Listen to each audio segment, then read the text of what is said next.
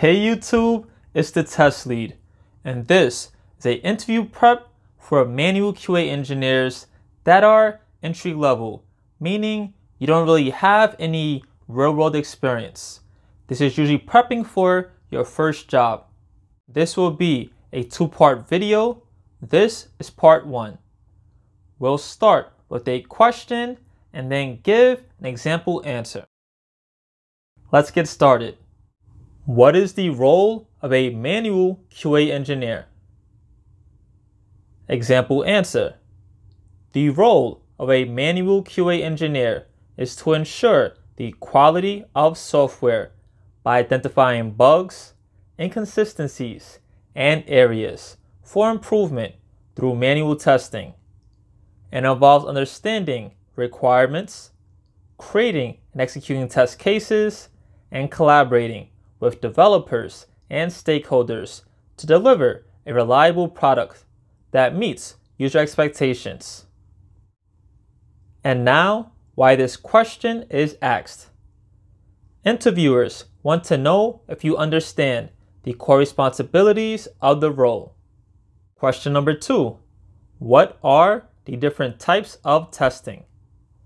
Example answer There are several types of testing, including functional testing, which is ensuring the software functions as per requirements, regression testing, verifying that new changes haven't affected existing functionality, integration testing, testing the interaction between different modules, exploratory testing, ad hoc testing to discover unexpected issues. User acceptance testing, or UAT, is ensuring the product meets users' needs before release. Why this question is asked? This question assesses your foundational knowledge of testing types and their applications. Question 3. How do you prioritize test cases when under time constraints? Example answer. When time is limited, I prioritize test cases based on critical functionality, which is ensuring that core functionalities are tested first. Next, high risk areas, focusing on parts of the application with higher chances of failure. Customer impact, testing features that are most visible or impactful to users. And lastly, defect prone areas, revisiting areas with a history of issues. Why this question is asked. Interviewers are evaluating your ability to manage time and focus on the most critical aspects of testing. Question 4. What is a test case and what are its components? Example answer. A test case is a documented set of conditions, inputs, and expected results used to verify a specific feature or functionality of the software. Its main components are test case ID, a unique identifier, test description, a brief description of the test, preconditions, any requirements or setup needed before executing the test, steps to execute, detailed steps to perform the test, expected result, the anticipated outcome, actual result, the observed outcome, filled in after execution, and status, whether the test passed or failed.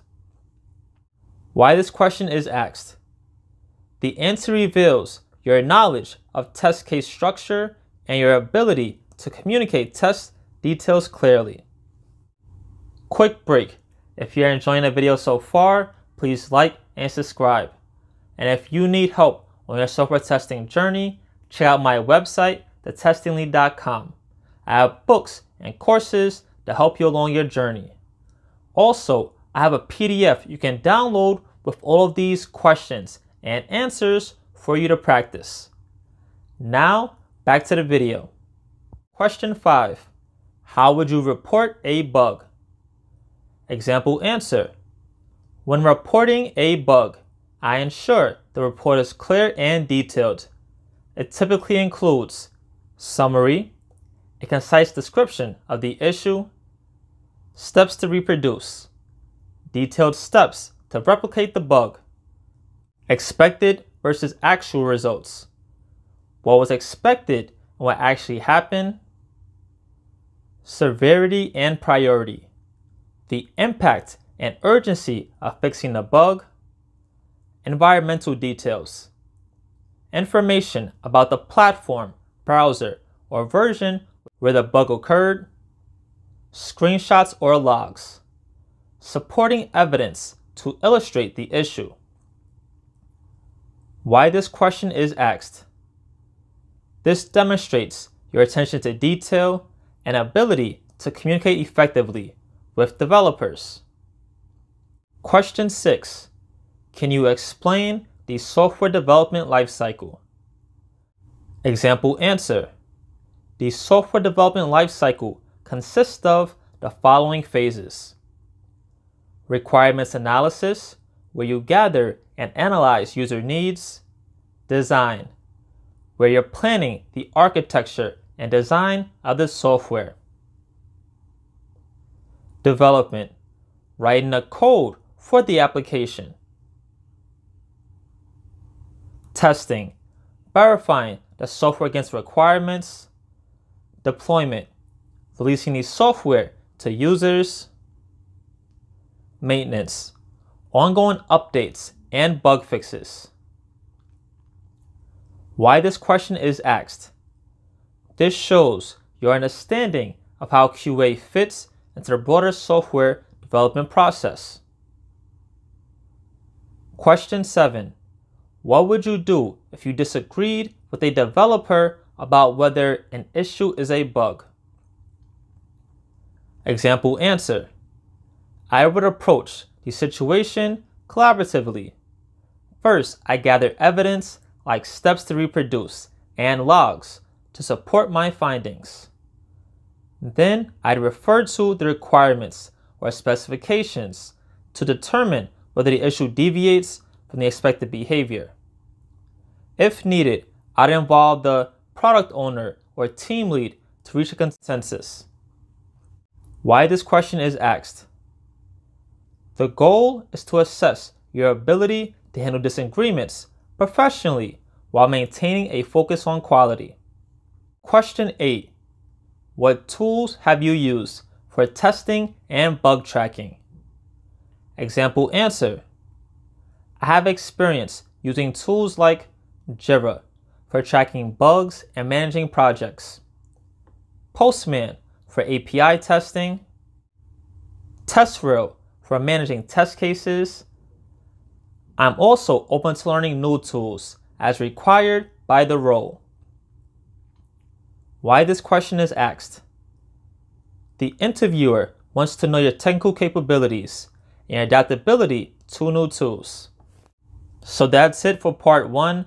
Remember, you can get a PDF download of all these questions and answers on my website, thetestinglead.com.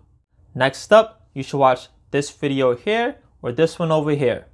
And most importantly, don't forget this, learn something new today.